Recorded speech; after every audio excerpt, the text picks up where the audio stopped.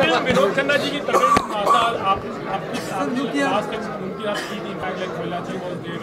right. Uh, I think one of the finest human beings you would ever meet. Uh, uh,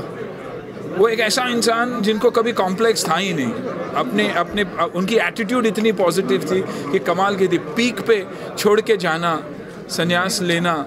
वापस आकर वापस उसी पदवी पर उतनी बड़ी सुपरस्टार का होना आई थिंक ब्रिलियंट एंड